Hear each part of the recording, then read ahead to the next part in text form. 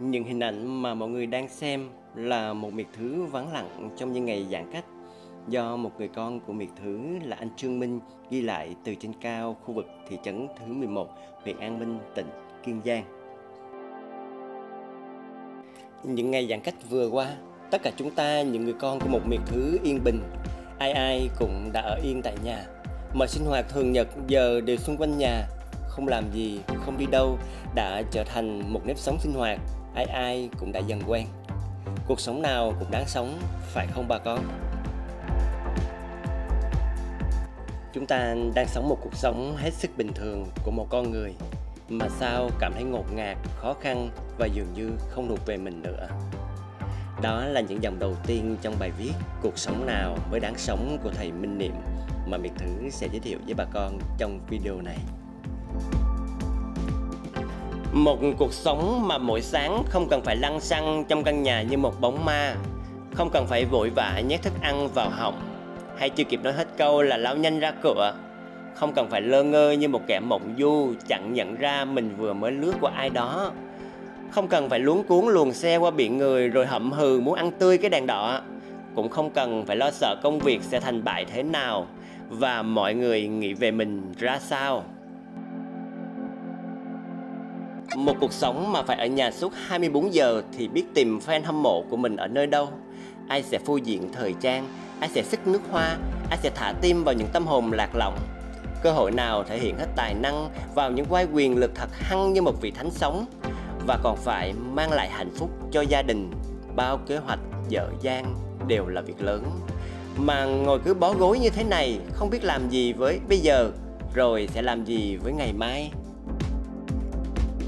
một cuộc sống mà phải chung trả từng ngày, từng giờ. Tưởng đâu là mơ ước bấy lâu nay, giờ mới té ngựa ra. Dường như chẳng ai quen, kiểu, thông thả ngồi bên nhau Và nhìn tận mặt làm sao chịu được những ánh mắt xăm soi, Những câu nói quan tâm mà nhạt hơn nước cất làm sao thờ nổi với những tiếng kêu réo ồn ào, Những màn cậy nhờ nhau không thương tiếc. Làm sao có thể thấy yêu đời Trước bao chuyện mệt mỏi của từng người buộc phải nghe rồi một tối thật yên, Tiếng còi cứu thương chợt hù lên trước sân nhà hàng xóm thân quen Cơn gió mùa hạ hiểm hoi đi ngang qua, Đưa tiếng khóc nỉ non qua từng khe cửa, Ghi chặt vào ban công Mà vẫn thấy mình đang rơi tự do Vào cái vùng đen thui ngoài đó Cuộc sống là gì? Hạnh phúc đích thực là gì?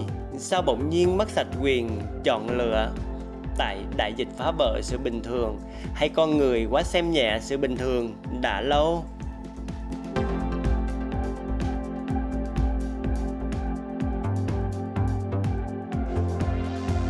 Bình thường là đúng hẹn với bình minh, cảm nhận từng thanh âm của ngày mới bắt đầu.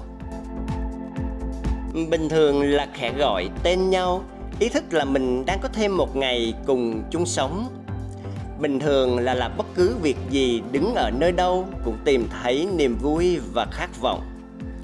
Bình thường là ở bên cạnh ai cũng với trái tim thật an nhiên mà không còn ảo mộng. Bình thường là sống một đời sống diệu kỳ, dù được mất, trong cuộc đời này vẫn đến đi.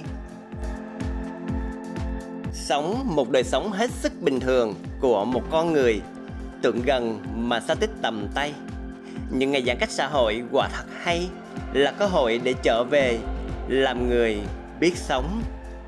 Minh Niệm 17 tháng 8 năm 2021